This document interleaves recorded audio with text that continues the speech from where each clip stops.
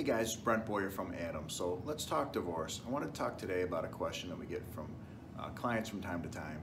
People want to know, does a divorce affect my credit? So getting, is getting divorced going to cause your credit score to decrease? That's really the, the gist of it, that's the question. So, I mean, the short answer on that is just because you get divorced doesn't mean that you will have a lower credit score.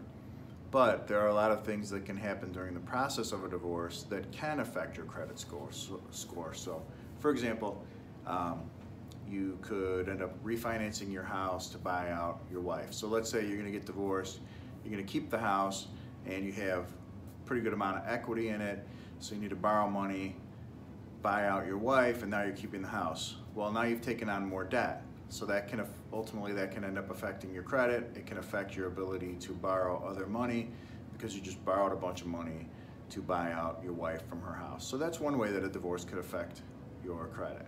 You could also be looking at things like uh, maybe the split of debt was uneven. You ended up taking more than your share of the debt, and that's costing you money and can affect your credit score because now you're taking on more debt. Um, and you could also get into where there's a joint debt. It's in both names, and there's maybe no way to pay it off during the divorce, and now you're going to have your wife take that joint debt in the settlement agreement. She's agreed to pay it, but then she's not making the payments.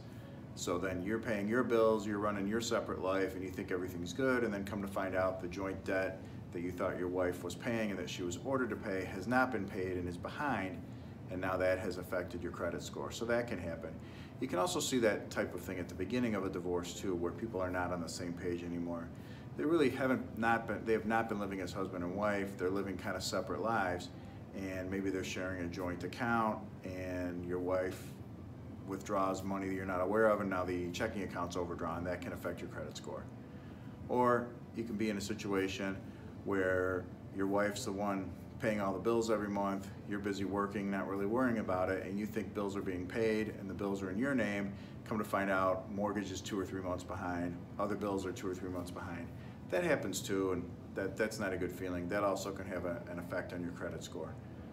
And there also can sometimes just be some confusion about a court order or judgment of divorce, and after you've been divorced, you uh, could get in a situation where your wife was ordered to pay a debt and she wasn't sure she was supposed to be paying it and isn't paying it and that can be causing problems with your credit too. So, so hopefully that helps. Those are some examples on that. Thanks.